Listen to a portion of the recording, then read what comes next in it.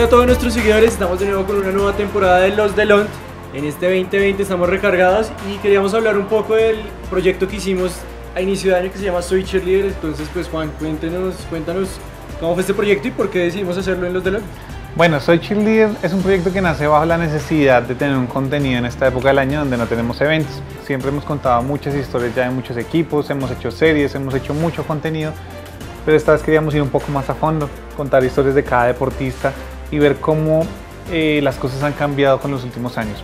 Vimos la experiencia de vida de cada uno muy interna desde sus casas, eh, sus problemáticas personales y contamos un poquito más de cosas con las que seguramente muchos de ustedes se pudieron sentir identificados. Fue muy duro, la verdad. Eh, hicimos una producción un poco más exigente, aprovechamos un poco más de la nueva tecnología que tenemos para grabaciones.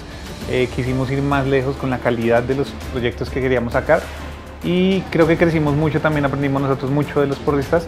Son muchas cosas que vivimos y compartimos y que las personas nos han hecho la retroalimentación y ha sido muy bonito porque nos escriben, oigan, qué bonito que hayan hecho eso porque a mí me pasa esto, a mí me pasa aquello, me pasa lo otro, entonces fue muy bonito y digamos que otra, otra cosa chévere fue que elegimos a estos personajes, a todos los que elegimos, porque son personas que se destacan, que se esfuerzan muchísimo. Muy buenas.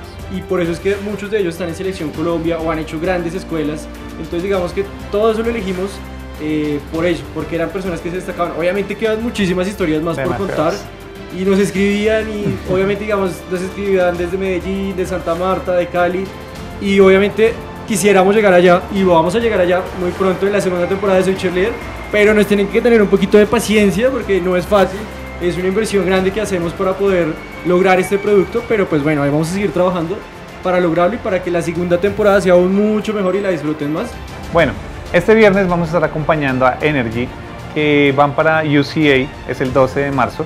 Entonces van a tener su show que es en el gimnasio, los invitamos a todos los que ah, quieran ir, hay un costo de entrada eh, que pueden encontrar en sus redes sociales y ese capítulo lo vamos a ver la próxima semana.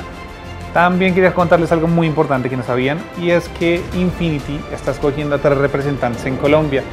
Esos tres representantes la marca los va a vestir durante todo el año, les va a dar los mejores tenis, les va a dar todo lo de la marca y pueden inscribirse aquí en esta parte, en este Instagram.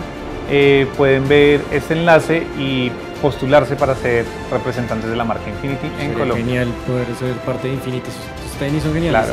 Claro, y también hay una sorpresa aún más grande todavía porque este mes a finales de marzo vamos a estar con Alejo Torres y con Juan visitando el gran país de México, la ciudad de Monterrey. Vamos a estar en el campeonato de Premier. Eh, pues Carlos y Horacio y bueno, todo el staff de ellos nos invitaron a este gran evento, así que vamos a estar allá con todas rompiéndola, así que estén muy pendientes porque ese campeonato se ve que va a estar muy bueno.